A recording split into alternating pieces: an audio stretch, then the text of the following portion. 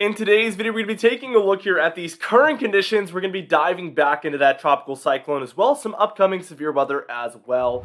Let's just get straight into things though. And first things first, we're taking a look at our current radar imagery. And as you can see, there is some showery activity still going on here for the four corner states down here, uh, as well as some showery activity and thunderstorm activity up here in the upper Midwest also. Uh, so we can see a bit of that happening. We also see that up here uh, for eastern Canada, as well as portions of the Great Lakes and the Northeast are experiencing some of uh, these thunderstorms and showers. And then also down here, for the southeast and the Gulf Coast, we see some of these tropical thunderstorms around for uh, the southeast all the way down through uh, the deep south and some of the Gulf states down there as well. Now let's work our way from west to east like we always do. And you can see that we do have some of these lighter showers around for some of these desert states like Arizona, New Mexico, as well as southern Utah uh, and a little bit of southern Colorado as well. We're seeing this activity. So these are mostly lighter and very, very spotty, but you could experience one of those this morning. Uh, we can see up here in the upper Midwest, we have some severe thunderstorm warnings coming through. So we know these thunderstorms are pretty bad and pretty dangerous up there. We also see some of that further north a little bit. So all these areas in here. Uh, it's mostly this front edge here, uh, this area in here where we're really watching because usually that front line has the most potential because it's reaching these very ripe conditions. After that front line passes, usually the second line or third line of storms doesn't have as much potential because that first line has already kind of eaten up some of it. So that's usually how that works. That's why oftentimes, you know, the first, like let's say you're seeing multiple thunderstorms in a day, oftentimes the first one will be the worst one. That doesn't always have to be the case, but that just happens to be true a lot of the time. Uh, we do see that there is some showers moving off some of the Great Lakes there into Michigan. So we see some of this taking place, and, and some of these even look like thunderstorms up there for northern Michigan. But for the most part, heavier showers at least is what I would say is taking place.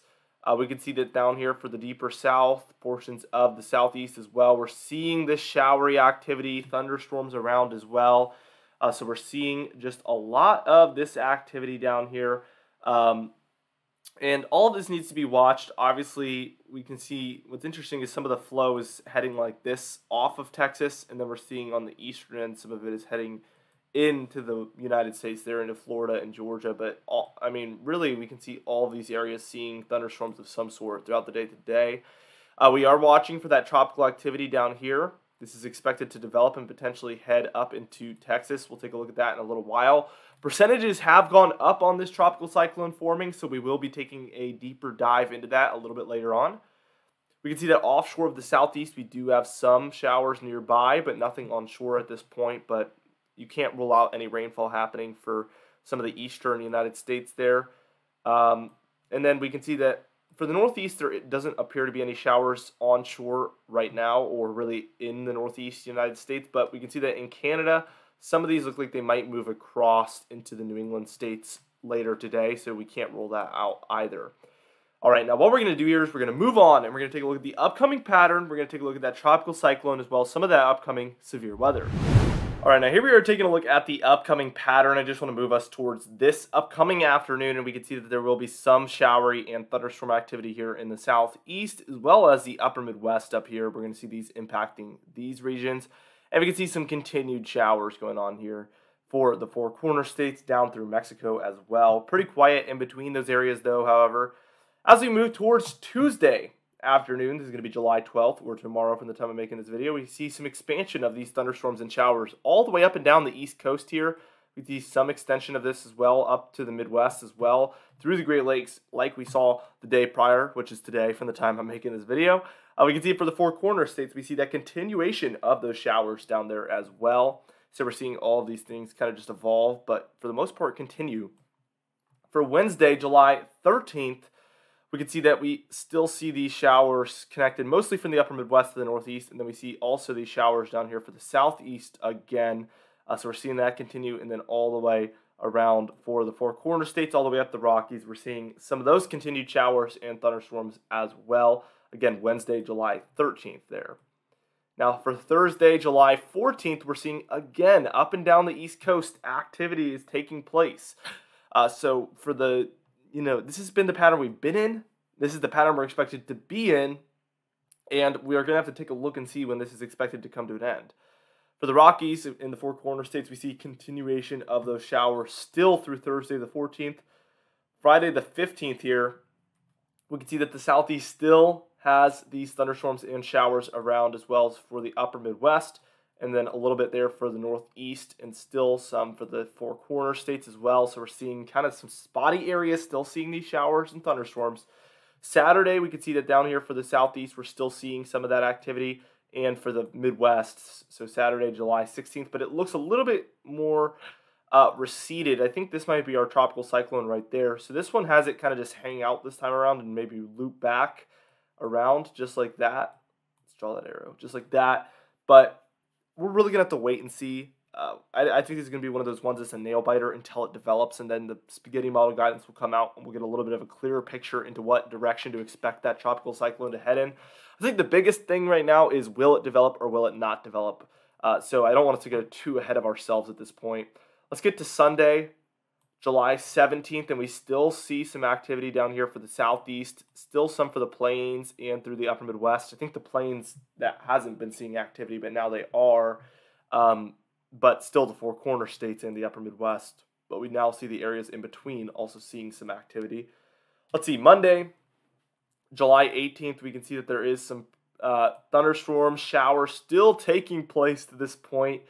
Um, so just the activity does not look to really stop anytime soon.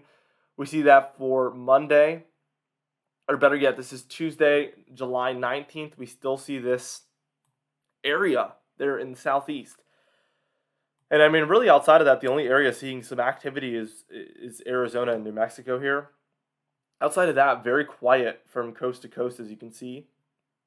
And then finally, for Wednesday, July 20th, we still see the southeast activity, but really outside of some minor activity here along the western seaboard and the southwest, we don't see much going on. So the southeast from you know day one through day 10, it seems like activity is not really going to slow down uh, whatsoever. So once we take a look here at the total precipitation through the next 10 days, there's no surprise that there's very minor amounts expected almost everywhere except for here in the southeast where we expect a ton.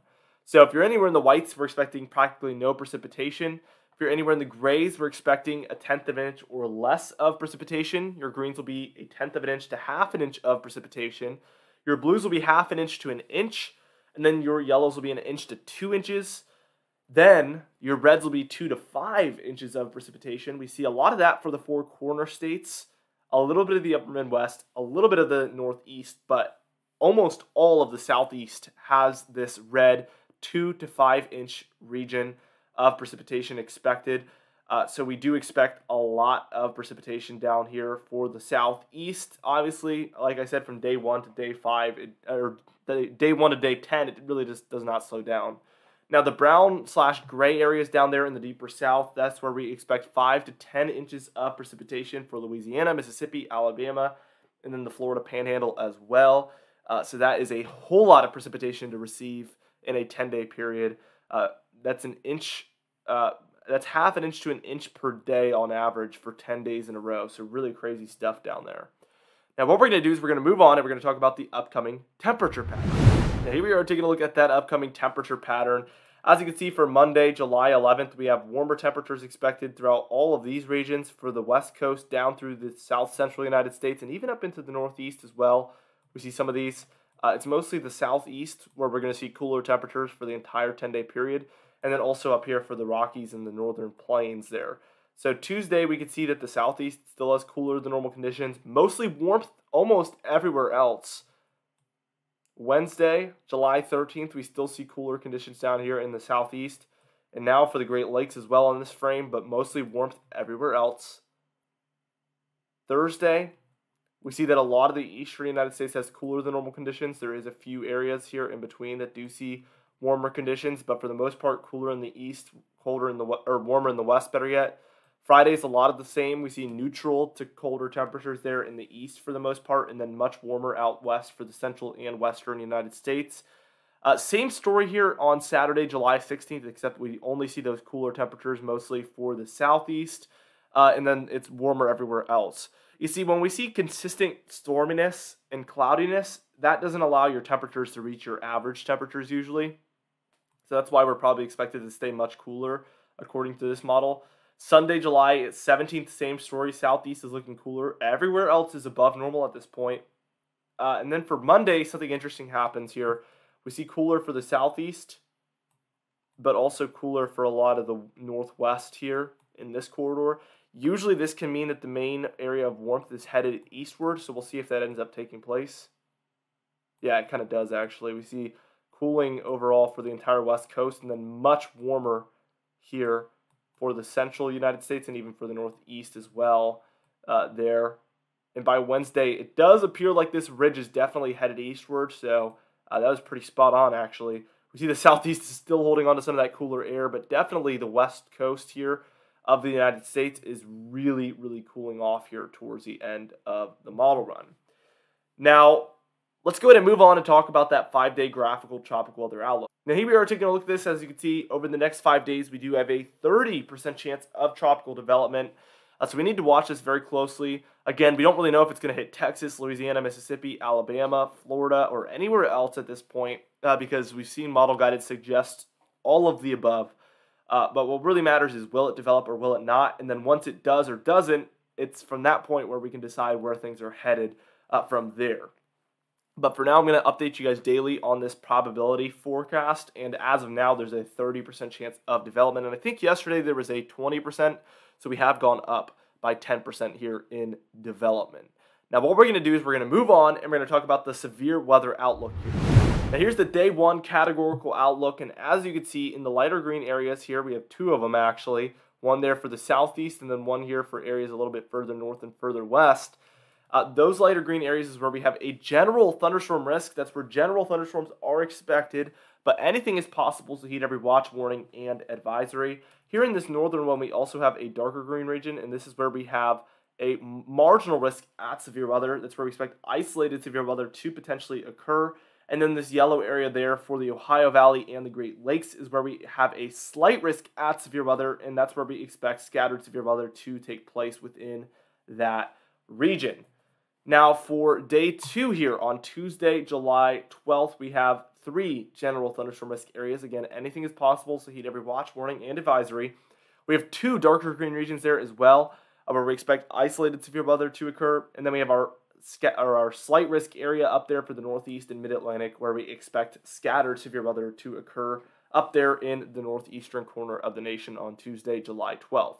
Now, for day three, Wednesday, July 13th, we have one very large horseshoeing general thunderstorm risk there. Again, everything is possible. Heat every watch, warning, and advisory.